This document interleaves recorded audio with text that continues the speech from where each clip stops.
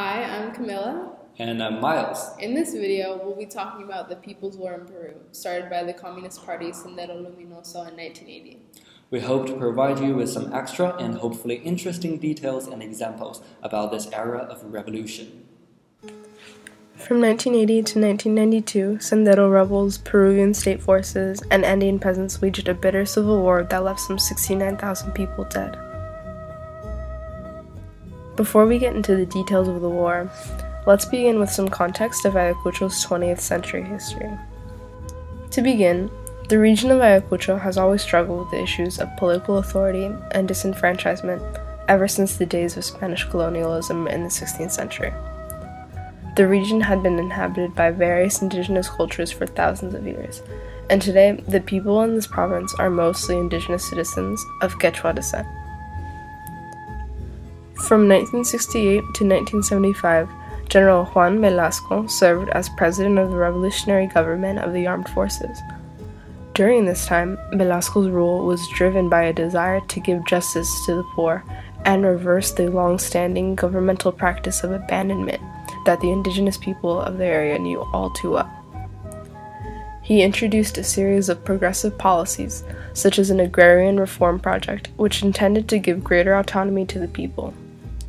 Although Velasco's dictatorship initially saw a great deal of support from the peasants, it was not long before various economic and political pressures forced him to step down before policies were able to take full effect. One of the most pressing issues left unresolved was one of political authority in the districts. It seemed that with Velasco's reforms, power was finally going to shift out of the hands of Ayacucho's notoriously abusive local leaders and into the hands of the more impoverished, more indigenous majority. However, this presented a threat to the notable, educated citizens who had always held most of the power in the region. When the military regime ended and there was a return to democratic rule, the peasant community were no better off than before. The failed promise of a political shift left many frustrated by the lack of any real changes, which eventually gave rise to the Communist Party of Peru led by Abimael Guzman, also known as Sendero Luminoso. At the same time, the new democratically elected government imposed severe austerity measures to mitigate Peru's failing economy and rapidly inflating currency. The economic crisis served as another reason for Senderistas to take up arms against their capitalist oriented government. In examining the complex relations between Guzman, the peasants, and the state, we can see the various shifts in this triangle of power and how each group played a distinct role in the outcome of the revolution. Sendero Luminoso was born in the highlands of Peru at the National University of San Cristobal de Huamanga in Ayacucho. From the outset, the organization was led by Abimael Guzman, who taught philosophy at the university. As a professor, he would earn the nickname Dr. Shampoo for his ability to brainwash listeners with his lectures. He was an incredibly charismatic speaker, which allowed him to garner a lot of attention among the students. Over the years, Guzman was able to recruit a strong base of support by moving beyond the university and expanding the party's relationships with peasant communities in other districts of Ayacucho. Guzman's revolutionary thinking was largely influenced by Maoist traditions of philosophy and politics. He aimed for a complete overthrow of the system, which meant a collapse of the state, dismantling of capitalism, and replacement of, bu- of the bourgeois democracy with a new democracy ruled by the proletariat. The movement was able to spread quickly in the countryside and gain massive support from the peasants, partly because they were fed up with their long history of being marginalized and abandoned by the government. Most of them harbored deep resentment for authority as well, having a long history of abusive, often disrespectful relations with the police. Years of being plagued by various social, political, and economic problems culminated in this radical desperation for change. The elected civilian government, which came into office July 1980, continued to neglect Ayacucho. It re- still remained a low priority area for resources from the center. In part, this was due to the severe economic crisis at the time, but also in part to the administration's failure to take Sendero seriously between 1980 and 1982. In retrospect, the government's approach was a big mistake, considering Sendero's leadership committed itself publicly to the armed struggle in 1979. It soon moved to more violent stages in March 1982 with the massive attack on the Ayacucho jail and release of all prisoners, including over 50 suspected Senderistas. Levels of violence steadily escalated during this period, and it was only until the very end of 1982 that the central government declared a state of emergency. Government policy of abandonment during the late 1960s and early 1970s played right into the hands of Sendero. The ineffectiveness of rural initiatives and other programs led to more and more resentment towards the state. It's no surprise then that the points of greatest contact between the peasantry and Sendero tended to be those of least contact between the peasantry and government. Sendero became one continuing and positive hope for many peasants. Its ideology and commitment provided, quite literally, a shining path toward a better future. However, as violence in the region intensified and the revolution took a different path than expected, this initial support was eventually lost.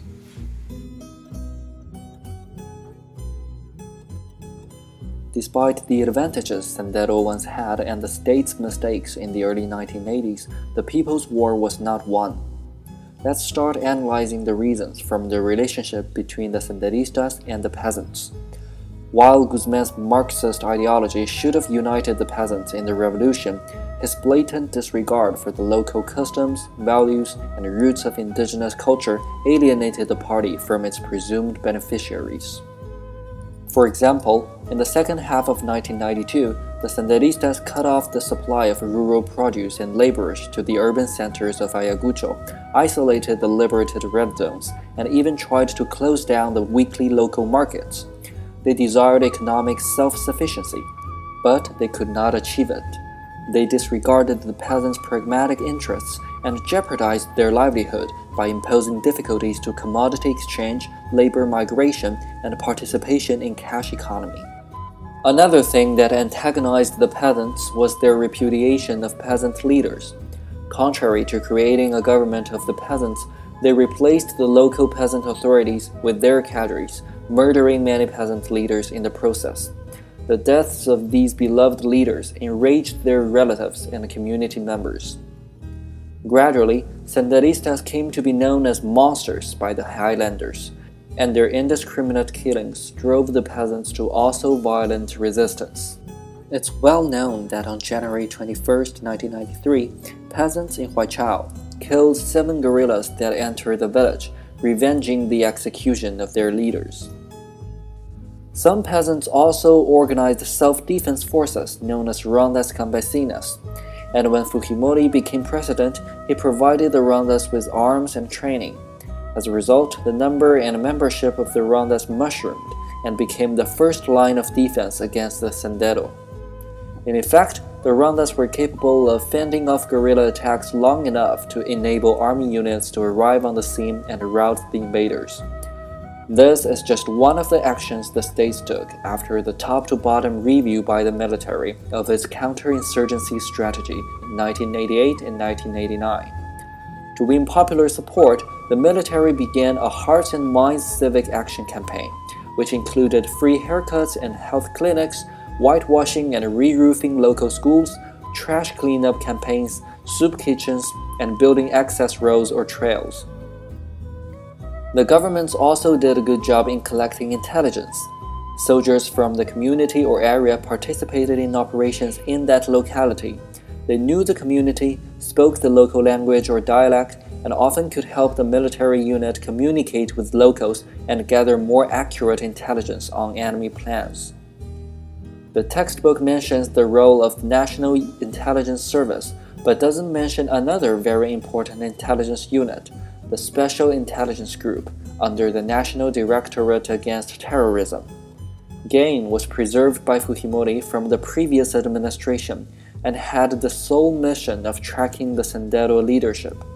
It was GEIN that located Guzman in a safe house in Surco and captured him on September 12, 1992. Fujimori took two more important initiatives After the autogolpe in 1992, he established a court procedure of faceless judges. In trials of captured guerrillas, the judges concealed their identity so as to protect them from the Senderos' reprisals. Also, they short circuited due process to ensure rapid verdict. In 1993, the government implemented a repentance law that enabled Senderistas to turn themselves in with their weapons or information in exchange for support, retraining, and progressive reintegration into society. In the textbook, Dawson portrayed Fujimori's economic policies negatively, but in effect, those draconian measures did pull Peru out of the crisis. Inflation dropped, employment increased, and by 1994, Peru had the highest economic growth rate in Latin America. Especially, the government created small agencies to focus on development programs in areas of extreme poverty. The programs are like irrigation, potable water, reforestation and soil conservation, electrification, etc.